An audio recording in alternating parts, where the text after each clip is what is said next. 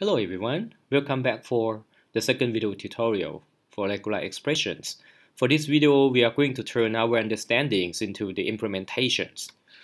Um, in this case, I am going to copy part of this data and we're going to use this as the data sample for Node-RED environment. So let's say if I want to copy this. Okay, now, in order to use Node-RED environments for regular expressions, we can use JavaScript in this case. So we need a function block. We need an inject to trigger this flow and the debug to show the output.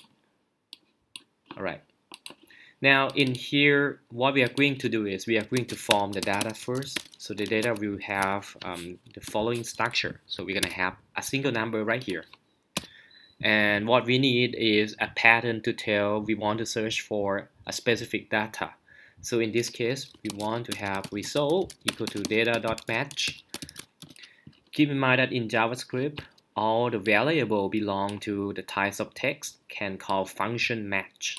Inside the match is going to be the patterns. I'm gonna say patterns. And our patterns is another variable Alright, now the pattern that we want to do is we want to match this single together first without anything else. So we are going to have this directly. Okay, now let's see what happened.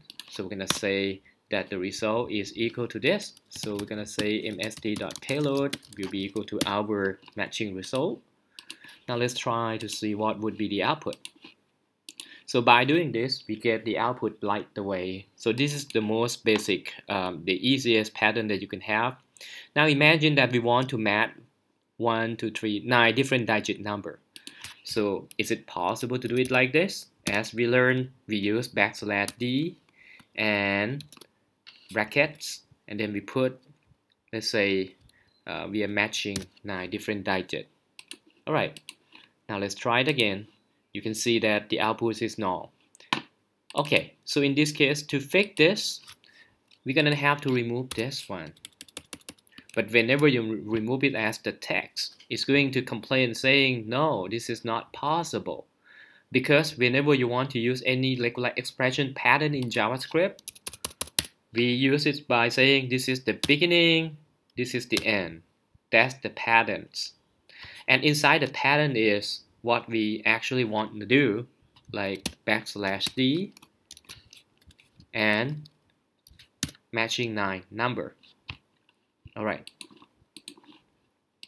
that's the result. One more time. So whenever you work in JavaScript so we use backslash to denote the beginning of the patterns and this another backslash uh, slash to denote the end of the patterns if you don't have anything in between, it's going to complain that this is not possible. So make sure that you have it done correctly. Now in here, we're going to expose options in here. So we're going to say that this start with digit, including three digit here. And uh, we're going to need to have dash, backslash, and then three, another dash, backslash d, and three together. Now see what happened.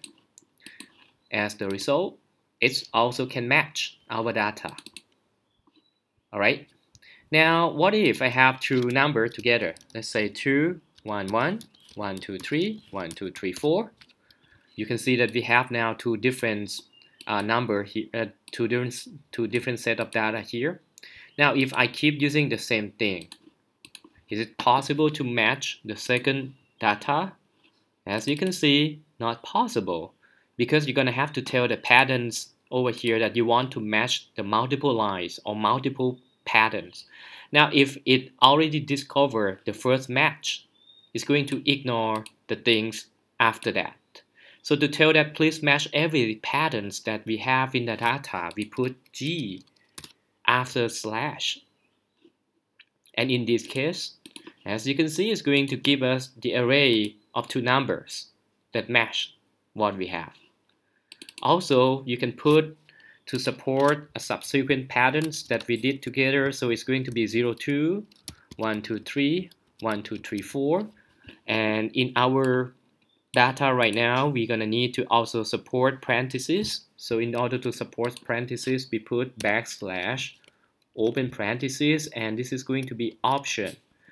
After the, uh, the first di two digit here, we're going to need to also say backslash, and then closing um, parentheses and question mark. So this is to support this bracket, and this is to support this opening bracket here. Now the only concern that we have right now is because in the previous example we have three digits for both of the of the data, data set here but over here we only have two so we're gonna need to modify this a little bit to match our patterns. So we say two and three meaning the digit over here at least two digit and at most three digit. So let's go ahead and see if this is working. So click on it. Now we got three different output. All right. You can also um, continue this matching. So I'm going to put this for another example. So that's going to be uh, for email address. Let's say I want to have to match andy4 at gmail.com so in this case um, let's say we want to match this. The most easiest way is to match the whole thing together. Alright um, see if this is working. Alright so it's working. So now we match the data. But what if I want to say that um, all the Gmail so when I say if it is all the Gmail it could be something like caddies at gmail.com like this. And if I use the same static one it's going to match only the first data here. So we're gonna have to modify this a little bit. So let's go for this together. So we say that we want everything before at side here to be the number of characters. If that the case, we say backslash w and if you remember in our reference over here, if you want to add zero or more, then we put star.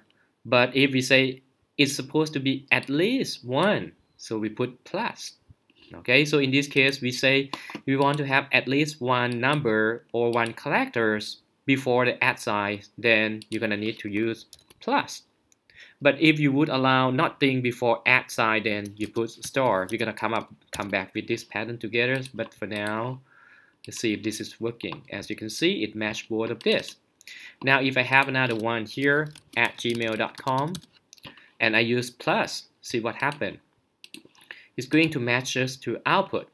But as soon as you change that plus sign to be star, meaning it could be nothing or more than one. So in this case, as you can see, it matched the third one as well. Okay, now let's take a look at another requirement saying, okay, we want to make sure that the first character is always uppercase letter. In this case, you cannot just simply use uh, okay I'm going to remove this because in the real life nobody uses something like this okay we cannot just say okay backslash and star because it's going to match only character and number but we want the first character to be uppercase as well. So in this case what we should do is we're gonna have to say oh that is based on our reference over here. In our reference you can specify things in here in the character set. So we use square bracket to define character set. And the first character we only need one single character set here and it's supposed to be uppercase letter. So imagine that if I keep this to be just K and then I use A to C meaning all the a lowercase letter okay and then followed by uh, either character or number so in this case, let's see what would be the output. It's Matt, Andy 14 and this one. Now comparing this to here is that we now saying that uh, it will match lowercase followed by this one and it doesn't specify how many character huh so in this case so um, the word caddy is going to ignore this, but it's found that this one is A to C. and also after this is any character or number okay? If you want to also support big K in here then you're gonna need to say uh, we only need one single collector here. So we're gonna have to put single collector is the plus okay? One collector plus. Or if you say that uh, we, we are going to have one exactly one. So we do it like this but we say it's going to support both A to C and A to C like this. So in this case let's take a look at the output. Now it supports both lowercase and uppercase characters. Alright okay. Now um, and then what else? If you say it's supposed to include at least one single characters okay? That would be your assignment. Imagine that okay if I want to say the email the email contain at least one capital letter start by capital letter and has um, meta collector has one meta collectors like this, this, or this. Okay.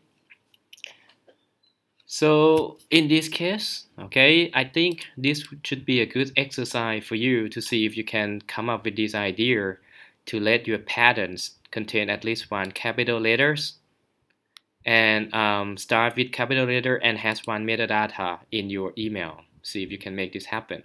Alright.